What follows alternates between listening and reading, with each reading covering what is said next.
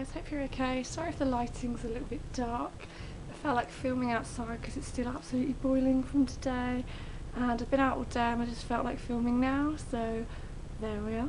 So I just have a very quick outfit of the day for you today and as always I'm going to start with my jewellery. Please excuse my nails, I've just come back from a festival and just haven't had time to do them so apologies.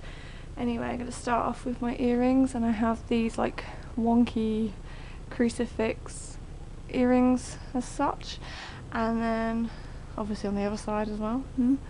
and then I have my usual K necklace and these um, rosary beads which are from Topshop. And then I have many rings on. I have these two above the knuckle rings from Regal Rose and then I have this ring which I love and this one which are from Dixi and then this plain band one which is from H&M and then I have my Secret Garden Party um, ticket, what's it called?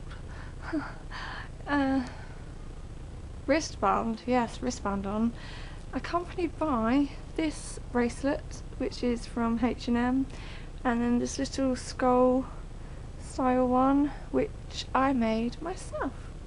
Okay so on my top half I have this little uh, waistcoat denim uh, sleeveless jacket as such which is from Primark. And then I just have this plain black um, top on. And then on my bottom half I have this cream chiffony skirt which I bought from eBay that is originally from New Look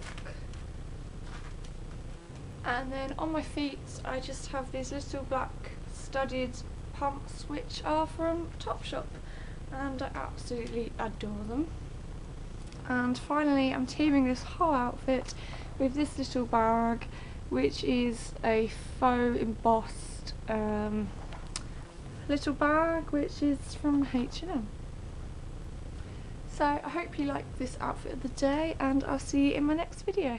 Bye!